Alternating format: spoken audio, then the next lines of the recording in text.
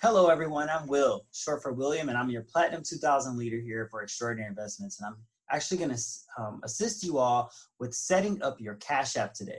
And in your Cash App, you're going to actually utilize a feature called the Bitcoin Wallet. And so, what is Bitcoin? So, to start, Bitcoin is actually digital currency that we can send from person to person or from person to an institution.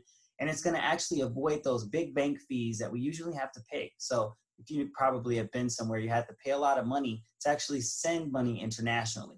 Well, the cool part about this is that we're going to be able to send money to our international broker firm without paying all of that money to the big banks. It's pretty cool.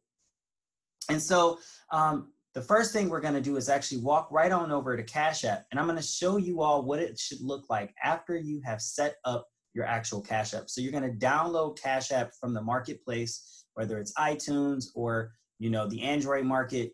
And once you've downloaded this app, you're going to connect your phone number to it. After you've connected your phone number to it, you're actually going to want to connect a checkings account um, to this account. So this will help you later on in the process with actually taking your earned profits and putting it back into your bank account so that way you can go and spend that money um, or reinvest that money or however you choose to do, uh, whatever you choose to do with that money. So I'm going to share my phone screen in about three, two, one. And as you can see, it'll prompt me over here to Cash App. So I'm in the Cash App app. And in this top right hand corner, if I click on this circle, you can see that I'm now a verified user on uh, Cash App. So this is my name as well as my Cash App username, right? Um, and on here where it says 1.8K, this actually is usually a photo of a bank. But since I have money sitting in my Cash App wallet, um, it's showing up here. You're gonna click on that right there and usually it'll default actually to this screen right here. So you can see my account information um, as well as deposits and transfers, Bitcoin, and the bank account that I have linked here. So I'm actually gonna click on this Bitcoin feature here, and then we'll commence a process called enabling send and receive.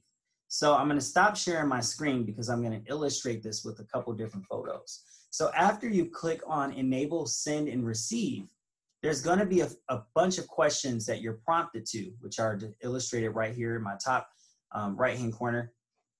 Um, you're going to see it's going to ask you, okay, what are you using this feature for? So you're using it to trade or to invest, whichever one you choose is more appropriate, that's okay.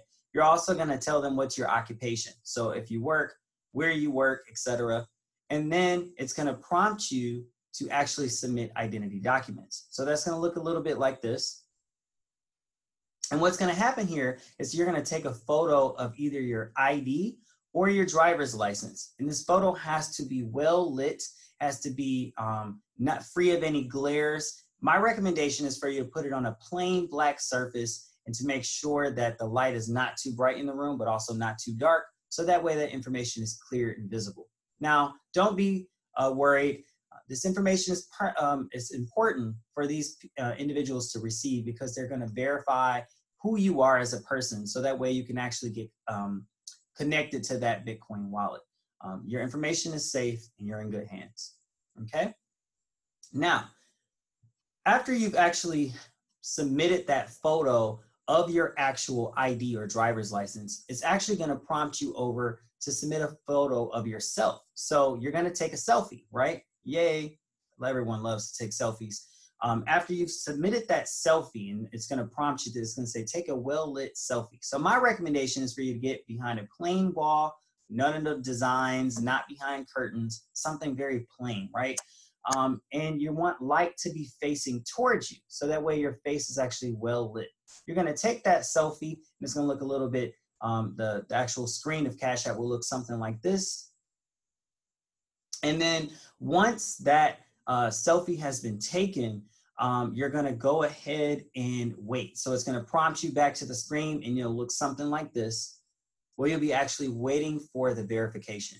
And so verification actually can take up to 48 hours. I've actually had it be done a lot quicker, but I always tell people just in case things are busy um, to allow that time. Um, you will receive an email, so please be sure to check your email um, on whether or not your documents have been um, processed as well as accepted. If you have issues with your documents getting accepted, you're going to want to contact um, Cash App support, and I'll actually show you all how to contact Cash App support um, from your phone. Now, please be aware that Cash App support does not have an actual cell number that or office number that you can contact. Um, you will have to actually send them an email. So what you're going to do is actually hit on over here to your profile button and click on the word support right here. And then you're going to kind of go down and figure out what it is you're having issues with. In this case, we're going to go to something else and we're going to come down to Bitcoin. And we'll kind of uh, click on what applies to us um, and you'll figure out how to contact support from there. Okay, so that is how we're going to actually verify our Cash App. And this is the first step you'll need to do in order to get started with using your um, Cash App Bitcoin wallet in order to purchase um, Bitcoin and actually send it over to your broker. So after you're done verifying, you never have to do this again, which is really cool. This part does take a little bit of time and patience. So be patient with the process. Get started early. Don't wait to the last minute. And I promise everything will be okay. Again, I'm super excited to help you all go live. Um, and I hope that this video was um, helpful for you all. And I'll see you the next time.